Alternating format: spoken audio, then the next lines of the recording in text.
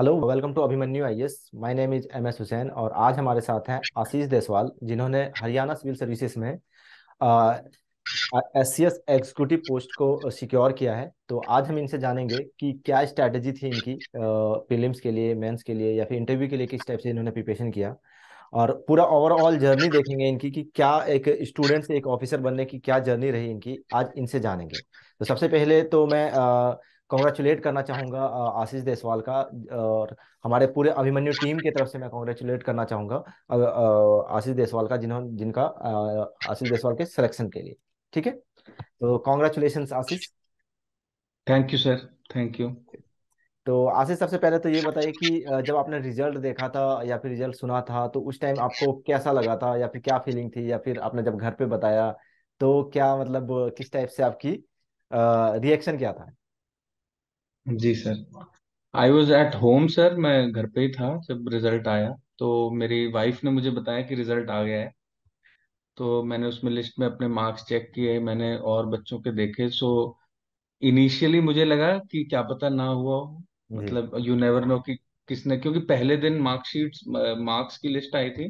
जी।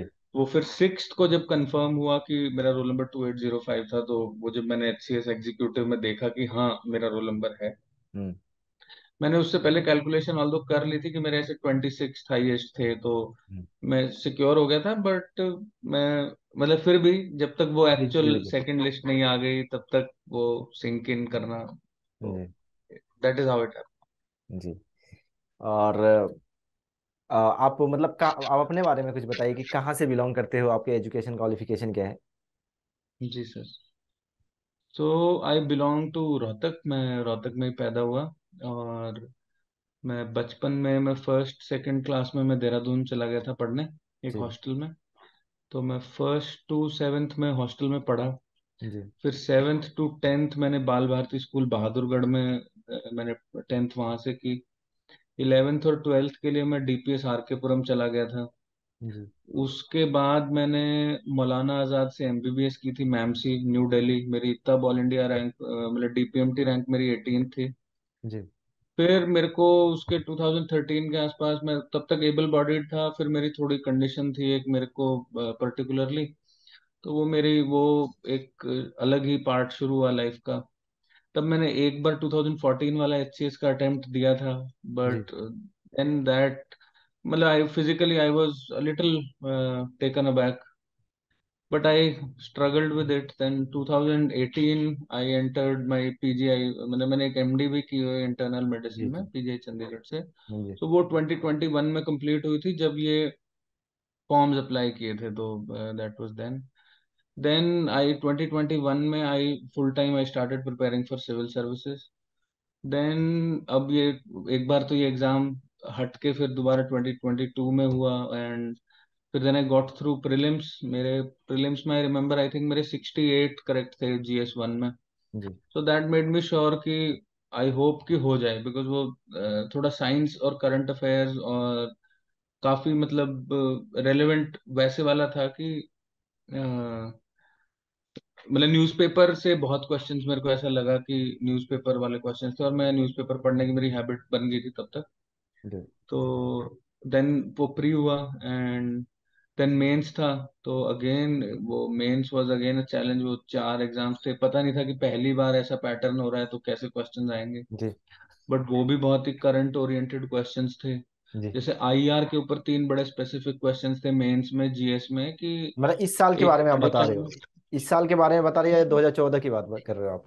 नहीं सर इस साल की बता रहा हूँ फोर्टीन की नहीं बता रहा मैं वही मतलब कंटिन्यू हो गया अब तो मैं अभी की बता रहा हूँ। इसी अटेम्प्ट की बता रहा हूँ ट्वेंटी ट्वेंटी वन वाला जो एग्ज़ाम था तो मैं ये बता रहा हूँ कि प्रीलिम्स में मतलब it was again newspaper was relevant and the static portion जो सेवन डिसिप्लिन जैसे science history geography pol science economics even sociology या आप ये कि गवर्नेंस वाला जो पॉलिटी वाला एस्पेक्ट है तो ये जो स्टैटिक पोर्शन है ये हर जगह रेलेवेंट भी रहा और मोर और लेस एनसीआरटी ओरिएंटेड मेरे को लगा कि NCERT are relevant and newspaper was again very relevant part because current affair related बहुत क्वेश्चंस थे।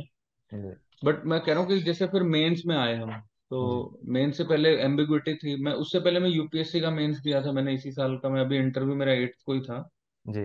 तो जो मतलब जो मेन सब वो दिया था यूपीएससी वाला तो वो क्वेश्चन की प्रैक्टिस हो गई थी कि टेन मार्कर और फिफ्टीन मार्कर जी। तो वो सेम पैटर्न आना था या एचसीएस का पुराना आएगा जो थ्री मार्कर सेवन मार्कर वो वाला पैटर्न था। जी। तो मैंने मतलब तब मैंने अभिमन्यु की टेस्ट सीरीज़ मेंस वाली ली थी मैं उसका जी। स्टूडेंट था मैंने सारे टेस्ट लगाए थे। जी। तो मतलब मेंस वो यूपीएससी वाला हो चुका था और मैं इसके उसमें था तो अब वो हरियाणा रेलेवेंट क्वेश्चंस और करंट के क्वेश्चंस और वो सारा क्वेश्चंस तो ट्रेस हो रहे थे बट उनका साइज़ नहीं पता था कि एग्जैक्टली exactly वो कितने पेज पे और कितने मार्कर आएँगे। जी। तो वो फिर वो यूपीएससी पैटर्न निकला कि सिक्स मार्कर और फोर्टीन मार्कर थे और टेन ईच थे तो सिक्सटी वन फोर्टी और टू हंड्रेड का टोटल बना था। बट उसमें मैं एक्चुअली ये कहना चाह रहा था तब कि तीन क्वेश्चन जो इंटरनेशनल रिलेशन के थे जी। कि इंडो चाइना पे क्वेश्चन था गलवान के बाद क्या हुआ? जी। और रशिया यूक्रेन वॉर पे क्वेश्चन था उसके मैनिफेस्टेशंस और श्रीलंकन क्राइसिस के मैनिफेस्टेशन तो एक्चुअली ट्वेंटी में से तीन वो थे जो मतलब ऐसा था कि वो एक्सपेक्टेड ये था कि हरियाणा स्पेसिफिक आएगा बट वो एकदम यूपीएससी लेवल कह लो आप उसको कि उस जी जी। लेवल का क्वेश्चन पेपर था। आईएएस लेवल कह लो उसको तो अ, फिर सर भगवान की दया से वो हुआ हम्म, तो फिर इंटरव्यू का वो पता चला कि चलो इंटरव्यू है फोर्थ को। फिर इंटरव्यू हुआ तो उसमें फिर अगेन वो प्रोसीजर आई थिंक अब बच्चे फेमिलियर हो गए होंगे बट वो एकदम अंदर जाके token system lucky draw system and वो डैफ बेस्ड भी नहीं था बिकॉज़ एग्जामिनर्स को पता ही नहीं था कि कैंडिडेट का नाम क्या है रीजन क्या है एजुकेशनल बैकग्राउंड क्या है तो वो एकदम मतलब एकदम पहली बार था और मेरा फोर्थ को था तो मेरा यूपीएससी वाला हुआ नहीं था तो कोई कंपैरिजन के लिए मेरे पास एक्चुअल वो था नहीं कि जी। कैसा होगा। जी। वो बिल्कुल ही नया एक्सपीरियंस था। वो फिर इन्होंने फिफ्थ को शाम को लिस्ट में ही आ गया था और फिर सिक्स को उन्होंने बताया कि वैसे था। जी। तो तो जैसे ये जर्नी रही सर जी। आ, सबसे पहले तो ये बताइए जैसे कि टाइम मैनेजमेंट की अगर हम लोग बात करें कि यूपीएससी में जो लेंदी पेपर बहुत ज़्यादा था ठीक है? तो जी उसको सर कैसे मतलब क्या प्रैक्टिस की थी आपने अ, कि हाँ लेंदी पेपर को मतलब एस सी एस के लिए जो तीन घंटे में खत्म करना था वो पेपर और पेपर भी बहुत आया था। तो उसके लिए क्या प्रैक्टिस की थी आपने? सर वही मैंने सिर्फ़ एक अभिमन्यु की एच सी एस मेंस वाली टेस्ट सीरीज़ दी थी। जी। उसमें आई थिंक ट्वेल्व टेस्ट थे या नहीं ज़्यादा सिक्सटीन टेस्ट थे। जी जी। उनमें से दस शायद सब्जेक्ट के थे और कुछ लैंग्वेज के थे। जी। ऐसा था कुछ फुल सिलेबस दो फुल सिलेबस थे चार लैंग्वेज के थे टेन शायद सब्जेक्ट के थे ऐसा कुछ था तो वो मैंने फुल सिलेबस और वो तो मैंने पूरे दिए थे जो सब्जेक्ट के थे। हिंदी इंग्लिश वाले मैंने मतलब देखे थे बट वो मैंने ऐसे फॉर्मली अटेम्प्ट करके अपलोड नहीं किए थे तो बट मतलब ये कि टेस्ट सीरीज़ दी मेंस यूपीएससी वाला खत्म हुआ था एक नव सितंबर छब्बीस को और एक नवंबर को ये वाले स्टार्ट होने थे एक नवंबर को ये खत्म हुए थे तो एक ही महीने का टाइम था। अक्टूबर को वो खत्म हुए और नवंबर को ये खत्म हुए। तो एक महीने का टाइम था तो एक महीने में बारह टेस्ट तो वो लिखे थे। और उससे पहले जैसे यूपीएससी वाले भी दस बारह टेस्ट वो लिखते थे तो बिल्कुल मेंस की आंसर राइटिंग उसी टेस्ट सीरीज़ वाली आंसर राइटिंग प्रैक्टिस की।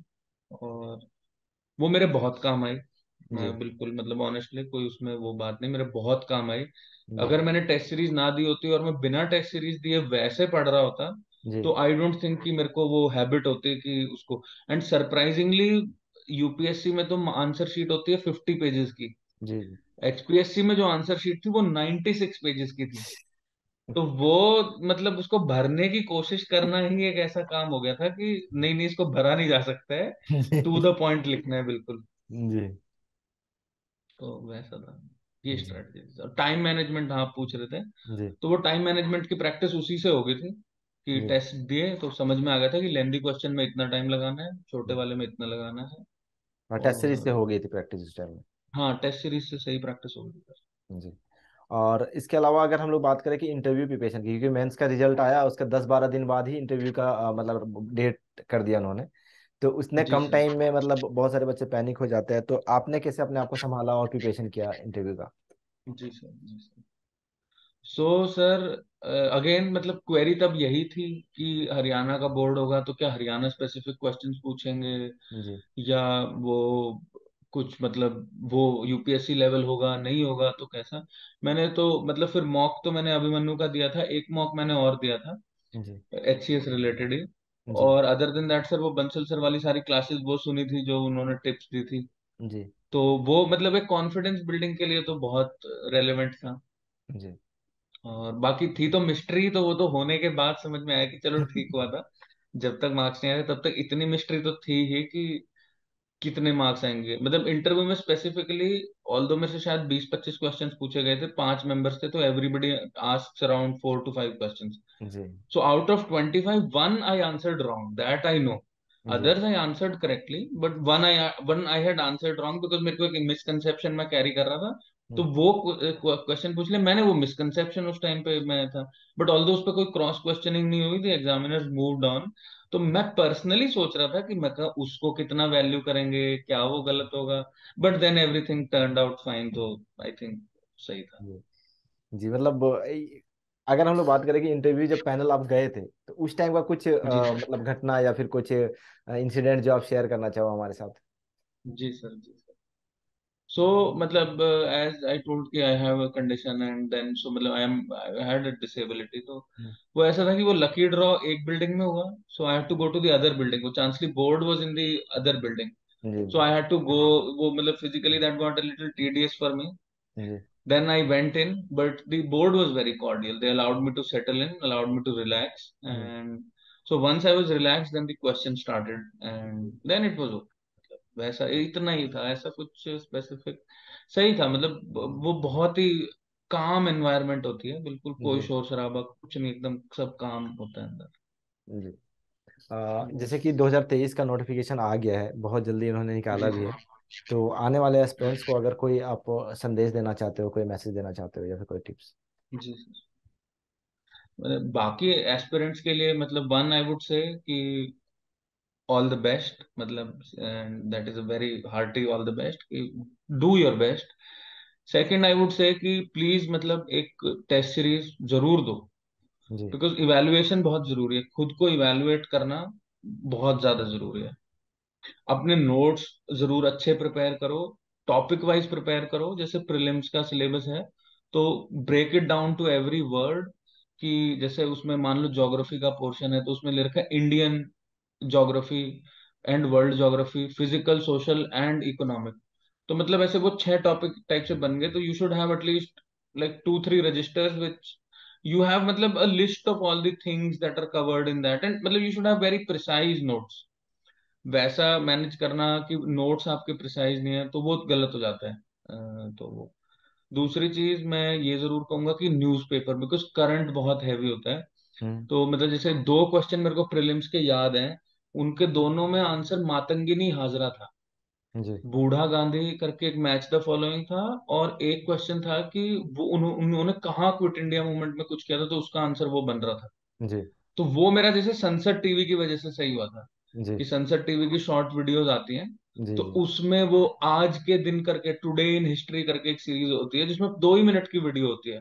तो मतलब मेरा कहने का पॉइंट ये कि उस टाइप की एक चीज़ जो आप डेली फॉलो करो करंट के लिए वो करो और न्यूज़पेपर एक न्यूज़पेपर मस्ट है। जी। आप कोई भी पढ़ो आई थिंक इंडियन एक्सप्रेस पढ़ो हिंदू पढ़ो आप नव भारत टाइम्स पढ़ो दैनिक भास्कर जागरण जो पढ़ना है पढ़ो। हम्म। क्वेश्चन वो मैटर नहीं करता। ये भी नहीं कि उसमें पॉलिटिकल न्यूज़ पढ़नी है बट उनमें कुछ पोर्शन होता है इकोनॉमी का और एडिटोरियल में ओपिनियन वाला जो कि ये दो पेज तो मेरे ख्याल में बहुत रेलेवेंट हो जाते हैं। तो मतलब वैसे कि न्यूज़पेपर स्टैटिक के नोट्स और एक करंट का कुछ ऐसी एक्टिविटी जो आप डेली फॉलो कर रहे हो जो कीप्स यू अब्रेस्ट की लेटेस्ट गवर्नमेंट क्या कर रही है तो उन चीज़ों से। जी। आई थिंक वो थैंक यू आशीष आपने अपना कीमती वक्त हमें निकाल के दिया और आपने जो भी इनपुट बताए वो आई होप जो आने वाले एस्पिरेंट्स हैं उनको मदद मिलेंगी और बहुत सारी ऐसी चीज़ें भी बताई आपने जिससे बहुत सारी मदद मिल सकती हैं। तो टाइम निकालने के लिए thank you and congratulation once again sir thank you thank you sir thank you